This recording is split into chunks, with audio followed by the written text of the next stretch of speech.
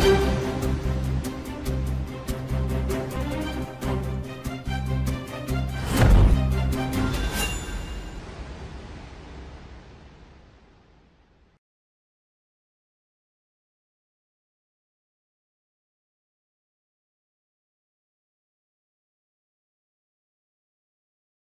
செங்கல்பட்டு மாவட்டம் மதுராந்தகம் திமுக சட்டமன்ற உறுப்பினர் புகழேந்தி சட்டமன்ற உறுப்பினர் மேம்பாட்டு திட்டம் இரண்டாயிரத்தி இருபது இருபத்தி ஒன்றின் கீழ் மதுராந்தகம் அரசு பொது மருத்துவமனைக்கு சிகிச்சை அளிக்கும் செலவுகள் மற்றும் சிகிச்சைக்கான மருத்துவ கருவிகளை கொள்முதல் செய்வதற்காக முதல் தவணையாக இருபத்தி ஐந்து லட்சம் நிதியினை பரிந்துரை செய்து அதற்கான அதிகாரப்பூர்வ கடிதத்தினை செங்கல்பட்டு மாவட்ட ஆட்சியர் ஜான் லூயிஸிடம் கடந்த ஏப்ரல் இரண்டாம் தேதி வழங்கினார். தற்போது அச்சிறுபாக்கம் ஒன்றியத்தில் உள்ள நான்கு ஆரம்ப சுகாதார நிலையம் மற்றும் மதுராந்தகம் ஒன்றியத்தில் உள்ள ஆறு ஆரம்ப சுகாதார நிலையங்களில் சிகிச்சை அளிக்கும் செலவுகள் மற்றும் சிகிச்சைக்கான மருத்துவ கருவிகள் கொள்முதல் செய்வதற்காக இரண்டாவது தவணையாக இருபத்தைந்து லட்சம் நிதியினை தனது தொகுதி மேம்பாட்டு நிதியிலிருந்து பரிந்துரை செய்து அதற்கான அதிகாரப்பூர்வ கடிதத்தினை செங்கல்பட்டு மாவட்ட ஆட்சியரிடம் வழங்கினார். மேலும் மதுராந்தகம் எம்எல்ஏ இதுநாள் வரை கொரோனா தடுப்பு பணிகளுக்காக தனது தொகுதி மருத்துவமனைகளுக்கு ஐம்பது லட்சம் ரூபாயினை வழங்கியுள்ளார் என்பது குறிப்பிடத்தக்கது.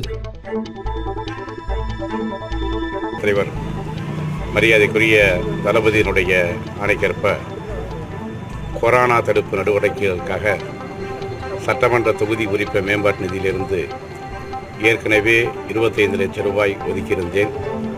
இப்போது அச்சிறப்பாக்கம் ஒன்றியத்தில் இருக்கக்கூடிய நாலு பிஹெச்சி மருத்துவமனைக்கும் மதுராந்தகம் ஒன்றியத்தில் இருக்கக்கூடிய ஆறு பிஹெச்சி மருத்துவமனைக்கும் இன்றைக்கு ஒரு இருபத்தைந்து லட்சம் ரூபாய் மாவட்ட ஆட்சித்தலைவரை சந்தித்து கொரோனா நடுப்பு நட தடுப்பு நடவடிக்கைக்காக சட்டமன்ற தொகுதி உறுப்பினர் மேம்பாட்டு நிதியை மாவட்ட ஆட்சியரிடம் ஒப்படைத்திருக்கிறேன். தளபதியின் கட்டளை ஏற்று மக்களோருக்கு சமூக இடைவெளி விட்டு களத்திலே மக்கள் பணியாற்றி கொண்டிருக்கிறோம். இன்றைக்கு மிக நெருக்கடியான காலகட்டத்திலே நாடு இருந்து கொண்டிருக்கிறது. நம்ம தமிழ்நாட்டினுடைய மக்கள் இருந்து கொண்டிருக்கிறார்கள். இந்த ஊரடங்கு உத்தரவினால் பலதரப்பட்ட மக்கள் அன்றாட கூலி வேலை செய்பவர்கள் கட்டிட தொழில் செய்பவர்கள் எல்லோரும் மிகவும் பாதிக்கப்பட்டிருக்கிறார்கள்.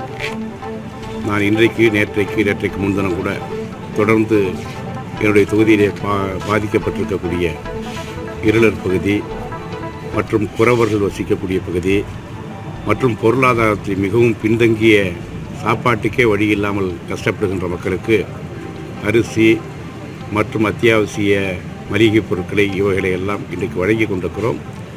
எங்களுடைய தலைவர் அவர்கள் சொன்னதைப் போல ஆயிரம் ரூபாய் என்பது இந்த காலத்தில் ஒரு குடும்பத்தை ஒரு நாளைக்கு ஓட்டுவது கூட சிரமமான காலகட்டம். இன்றைக்கு பதுக்கல் பொருட்கள் எல்லாம் இன்றைக்கு விலை ஏறிவிட்டது. தளபதி அவர்கள் சொல்லியிருக்கிறார் ஐயாயிரம் கொடுக்க வேண்டும் பத்தாயிரம் கொடுக்க வேண்டும் என்று. அப்படி பத்தாயிரம் கொடுத்தால் கூட ஓரளவுக்குத்தான் அது நிவாரணத்துக்கு முடியுமே தவிர முழுமையான நிவாரணத்துக்கு சரியாகாது. அரசு எல்லா விஷயங்களையும் பரிசீலித்து இதை சரி செய்ய வேண்டும். ஏற்கனவே சட்டமன்ற தொகுதி மேம்பாட்டு நிதியிலிருந்து ஒரு கோடி ரூபாயை இந்த பணிக்காக எடுத்துக்கொண்டு எடுத்திருக்கிறார் மத்திய அரசாங்கத்திலிருந்து ஐநூற்றறுபது கோடி வந்திருக்கலாம். இரநூத்தி முப்பத்தி நாலு தொகுதி எம்எல்ஏ நாங்கள் இருக்கிறோம். இரண்டு எம்எல்ஏ காலமாகிவிட்டால் இரநூத்தி முப்பத்தாறு எம்எல்ஏ இருக்கிறோம்.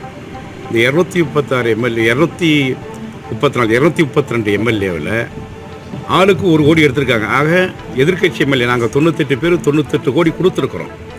அது மாத்திரமல்ல இந்த கொரோனா நடவடிக்கை தொடங்குவதற்கு முன்பாகவே எங்களுடைய தலைவர் தளபதி அவர்கள் ஒரு மாத சம்பளத்தை முதலமைச்சருடைய நிவாரண நிதிக்கு கொரோனாவுக்கு அனுப்புங்கள் என்று சொல்லிவிட்டார்.